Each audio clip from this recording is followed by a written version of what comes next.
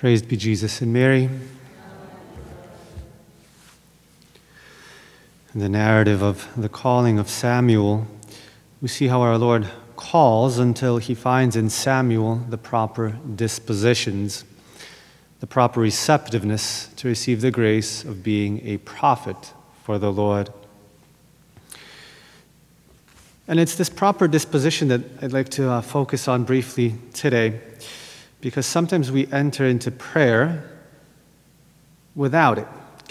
Sometimes we enter into prayer, into our dialogue, into our conversation with the Lord, with an attitude, with an erroneous attitude, thinking that we have to convince our Lord, we have to make him want to do something, we have to make him want to grant us something, to give us something.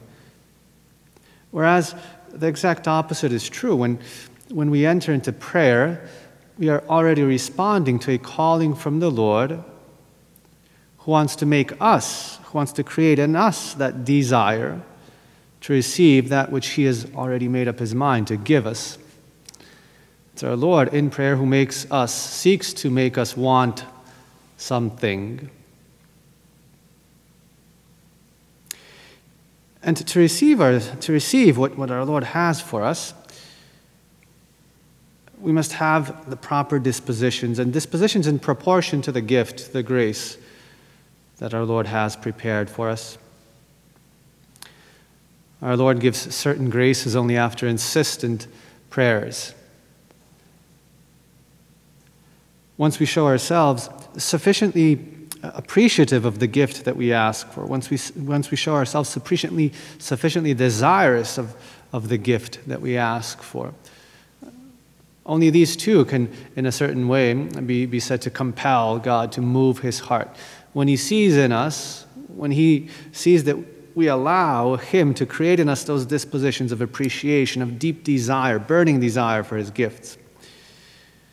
And, and for that reason, tying this in to Our Lady of, of the Rosary, whose um, votive Mass we celebrate, for this reason, our Lord gives certain graces only through his Blessed Mother because only she is able to give us the proper dispositions necessary for certain graces, especially those of a greater magnitude, especially the ones that are most life changing.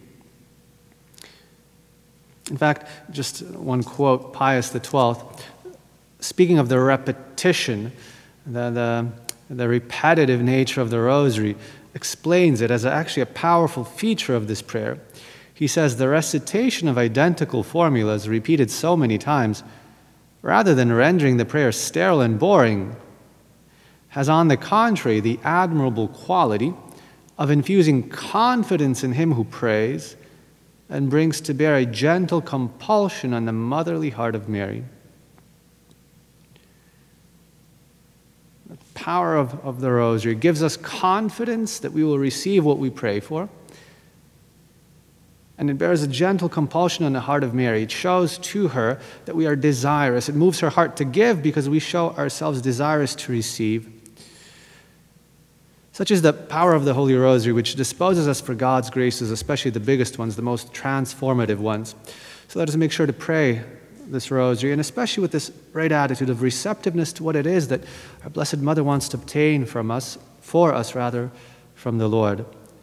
Let us ask her to surprise us and to exceed our expectations, and she surely will, and will show to us the power of, of this prayer, the power of her intercession, and the goodness of God, her Son. Praised be Jesus and Mary.